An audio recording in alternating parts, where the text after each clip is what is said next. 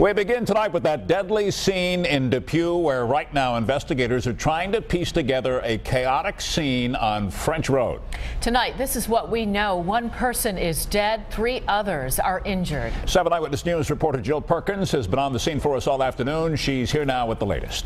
Well, this was a head-on collision that ended with one person dead and a mangled mess of car parts littering this Depew roadway. This was the scene on French Road. It happened just after noon today. Police say this sedan was heading west when the pickup truck heading east crossed over the yellow lines. The two vehicles colliding head on. The driver of the sedan was killed on scene. We talked to neighbors on this residential road as they tried to process the wreckage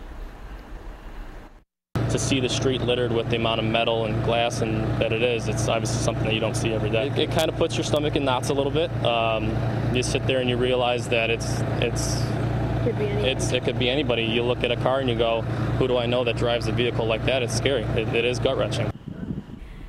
And the victim's name at this point has not been released to us. Police say the, there were three other people taken to the hospital, including the driver of that pickup truck. Right now, police tell me they're not sure if speed, alcohol, or any other distractions may have caused the truck to cross those yellow lines. It's also unclear if any charges will be filed.